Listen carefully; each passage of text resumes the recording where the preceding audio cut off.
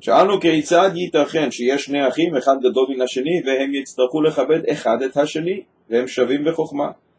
התשובה היא, שני תאומים שנולדו ולא ידוע מי נולד ראשון. בחופץ חיים מבואר באסין י' שזה כיבוד אח זה דאורייתא, על כן מכיוון שזה ספק דאורייתא, שניהם יצטרכו לכבד אחד את השני.